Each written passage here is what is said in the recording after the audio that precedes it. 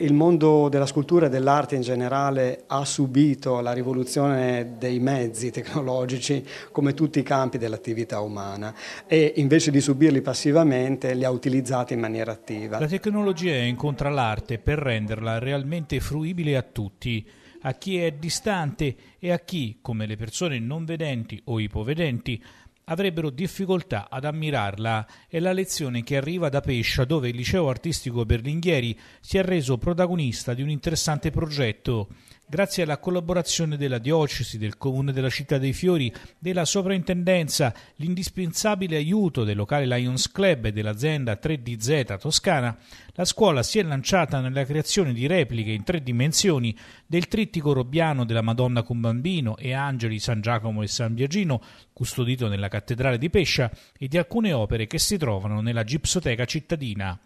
Lo strumento utilizzato è uno speciale scanner che permette di ricreare digitalmente le opere scultoree per poi dar vita a modelli digitali fedelissimi alle originali o stampe 3D. Proietta delle bande luminose sugli oggetti poi le due telecamere dello strumento che cosa fanno? Rilevano la deformazione di questa sorgente luminosa sugli oggetti e il software riesce ad acquisire una nuvola dei punti nello spazio e quindi viene ricostruito in questo modo digitalmente l'opera fisica. E questo ci permette poi di fare tutta una serie di elaborazioni che possono essere che, ad esempio ricostruire una parte mancante oppure come per questo progetto fare una riproduzione anche in scala oppure uno a uno degli oggetti per fare che cosa? Per dare la possibilità alle persone non vedenti di toccare delle opere che altrimenti non, gliele potrebbero solo raccontare. Che ne sarà della scannerizzazione della, della robia e delle scannerizzazioni fatte qui oggi alla Gipsoteca? Abbiamo provato a ipotizzare il loro uso più vasto possibile.